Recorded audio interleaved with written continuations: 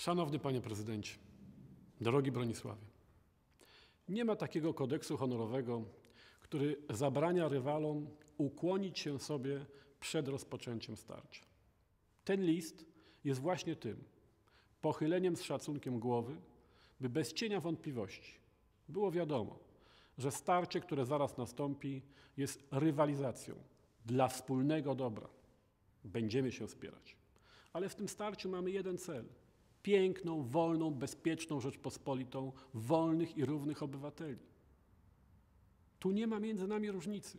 W wielu sprawach się z Tobą, prezydencie, nie zgadzam, bo przekonują mnie inne niż Ciebie argumenty.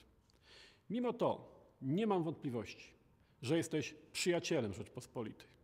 Twoje zwycięstwo nie będzie moją porażką, będzie zwycięstwem Rzeczpospolitej. Wiem, że myślisz tak samo. To trzeba przypomnieć. Bo w wojnie domowej, którą wytoczyła Rzeczpospolitej skrajna prawica, nie ma już miejsca na namysł. Po co są wybory i dlaczego w demokracji przyjaciel spiera się z przyjacielem? Nie po to przecież, aby go pogrążyć, ale po to, aby w sporze do głosu doszły marzenia, obawy, troski i nadzieje wszystkich obywateli. Aby te głosy ukształtowały wiedzę tego, kto przez kolejne lata będzie dbał o powodzenie i bezpieczeństwo obywateli. Trzeba to przypomnieć, bo Polska się rozpada.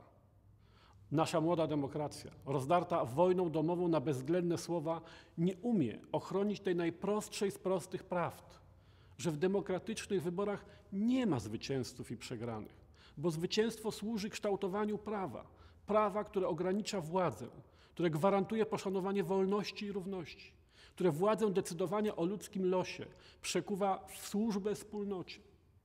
Trzeba to przypomnieć bo tracimy poczucie wspólnoty. Trzeba to przypomnieć, aby pozwolić tym, których porwała rzeka nienawiści, wyjść na brzeg i dołączyć do tych, którzy jeszcze nie zapomnieli, że tak naprawdę Polska jest jedna, nasza, wspólna, a spieramy się w niej tylko po to, aby była doskonalsza niż jest dzisiaj. Spór między nami nie jest więc walką na śmierć i życie.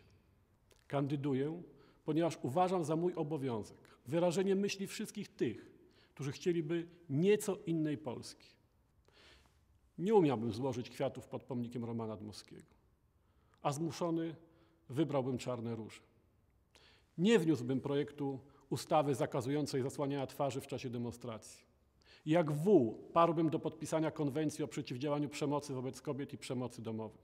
Chciałbym legalizacji związków partnerskich, odrzucenia hipokryzji w relacjach państwa z Kościołem.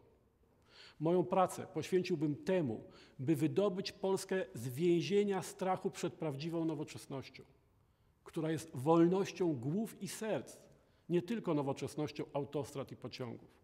Staram się, być może nieudolnie, zmobilizować wszystkich tych, którym bliskie jest takie marzenie o takiej Polsce, by ich głos został usłyszany ponad dudnieniem wojennych bębnów tych, którzy zaraz ruszą na wojnę. Inaczej rozumiemy nowoczesność i inaczej widzimy rolę prezydenta w kształtowaniu przyszłości. Więcej nas jednak łączy niż różni. Trzeba o tym przypominać. Dlatego w przededniu kampanii, drogi prezydencie i przyjacielu Rzeczpospolitej, chciałbym złożyć Ci najserdeczniejsze życzenia spokojnego, radosnego i udanego dla polskiej demokracji nowego roku.